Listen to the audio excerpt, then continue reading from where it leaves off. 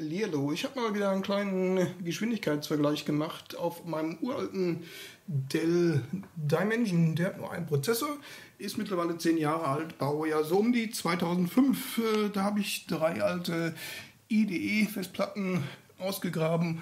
Auf der einen war noch Windows XP ursprünglich drauf. Ich habe jetzt mal drei Linux-Betriebssysteme aktuelle installiert und mal geguckt, äh, wie schnell sind die. Vorab gesagt, die sind ungefähr gleich schnell macht keinen Unterschied, kommt auch darauf an, automatischer Login oder nicht, oder wie schnell waren die Festplatten. Die sind ja, wie ihr seht, nicht ganz identisch. Wir hätten als Kandidaten äh, Debian 8 äh, mit XFCE, das mache ich zuletzt.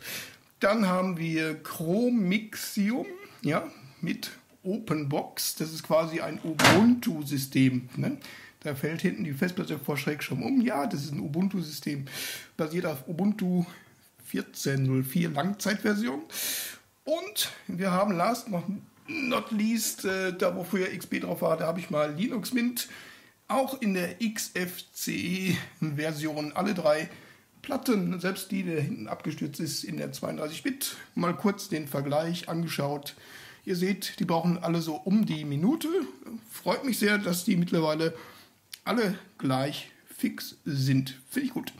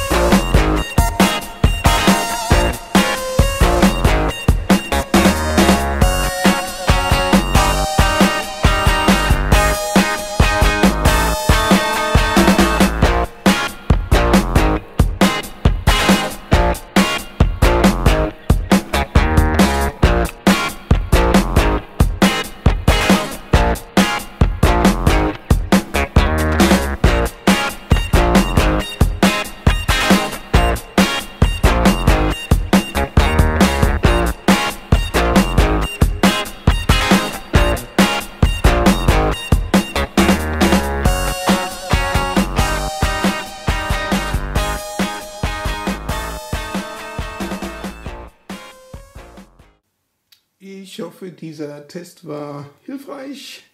Verbleibe mit freundlichen Grüßen und tschüss.